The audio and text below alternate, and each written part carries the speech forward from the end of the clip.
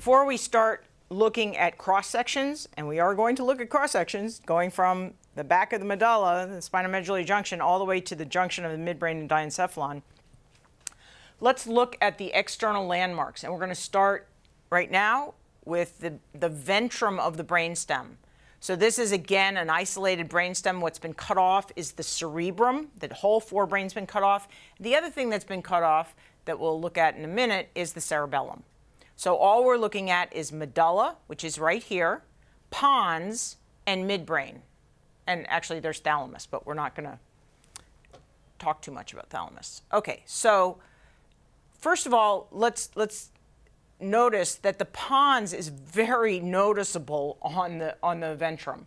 It's this bulbous, uh, it's uh, base. It's called the basis pontis, eh, or the um, the pontine nuclei, and this is the part of the pons that got married to the cerebellum. And in animals that do very fancy movements, the pons, the base of the pons, and the cerebellum both are larger. We do lots of uh, fancy movements. In particular, we play, play the piano. We can make individuated uh, finger movements. And because of that, we have this large basis pontis and a large cerebellum. And we'll look at that, look at the cerebellum in a minute. But this is very noticeable. Whereas in, for example, a rat, it's a much smoother thing. It's less, much less bulbous. Okay. So the medulla, as we said before, this is one important uh, landmark, the spinomedullary junction, where you see this, this blurring of the midline. And rostral to that, on the ventral surface of the medulla, are these two areas right here, and these are the pyramids. This is going to contain the corticospinal tract. At this level, the corticospinal tract is controlling movement on the opposite side, the contralateral side just lateral to the pyramids are these two bump, bumps, and these are called the olivary tubercles, and underneath them are the inferior olivary nuclei. These are the cells that are going to tell the cerebellum when a mistake has been made. They are the teaching signal to the cerebellum. Once we get into the pons, we have smooth sailing. The corticospinal tract is going to go shooting through the base of the pons, and then it's going to enter in the midbrain the middle part of these cerebral peduncles. These cerebral peduncles are where a bunch of tracts are, are concentrated, and in the middle third of the cerebral peduncles are the, um, is the corticospinal tract and the corticobulbar tract. Okay. Now, the other thing that you notice here, as we, as we go forward a little bit into thalamus, you notice here the optic nerves. Remember, cranial nerve 2. They're coming from the eye. The eye is here, the eye is here. They come back, and there, here's the optic chiasm, and then axons that deal with the, the contralateral visual field are going to be present right here in what's called the optic tract. And what you'll notice is the optic tract is going to bend around the cerebral peduncles. And so that gives you a, that, that's one, one thing that you already know. Uh, you, can, you can understand at this point, at this very early point, which is that you could have a damage here, and what would it produce? It would produce a contralateral paralysis. You couldn't voluntarily move the contralateral face or body coupled with a loss of vision in the contralateral visual field. Okay? So if you damage both the cerebral peduncle and the optic tract, that would be the result. Now we're looking at the dorsal surface of the of the brainstem.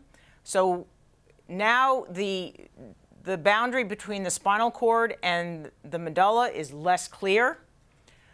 Uh, what is still clear is the boundary between the medulla and the and the pons, and that is clear because you see these two cut surfaces. These two cut surfaces are where we took the cerebellum off, and these are called cerebellar peduncles. This is the cerebellar peduncle, and this is the cerebellar peduncle. They are made up of there are three different uh, tracts within the cerebellar peduncles. But if you cut this, that's it. That's the only way to get in or out of the cerebellum is to go through these peduncles. That is absolutely the attachment of the cerebellum to the pons. And so what you see is that where this uh, where the attachment is, that's the the pons. So caudal to this is the medulla, and rostral to this is uh, it, actually as you go forward, um, the midbrain would start right here. Why does the midbrain start right here? Because the midbrain is marked by these four hills or colliculi. This is also called the uh, quadrigeminal plate. So this is a, a, an area of four hills. And the two hills in the front are the superior colliculi, and the two hills in the back are the inferior colliculi. The superior colliculi are involved in orienting movements to unexpected sounds, uh, uh, uh, unexpected um, uh, movement, or unexpected a tap on the shoulder, anything that is unexpected and you orient towards that stimulus, that orientation movement is supported by the superior colliculus. The inferior colliculus is, uh, is a necessary um, uh,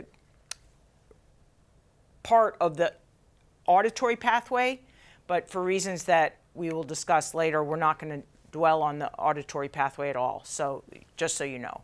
And what you see just behind the inferior colliculi is this lovely little nerve. That is the trochlear nerve. It's coming out of the dorsal surface of the midbrain, and it's going around to exit from the ventral side. So medulla, pons, midbrain. What's right there? What's at the very front of the midbrain is the pineal gland. Remember, this is a non-neural structure.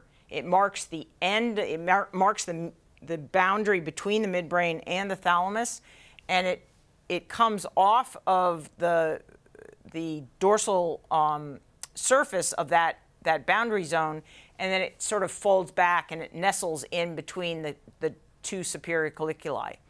And going forward from here is the velum interpositum, that place of of not part not part of the brain that is uh, encircled by the comb over of the cerebral cortex. Okay, and then this is the thalamus.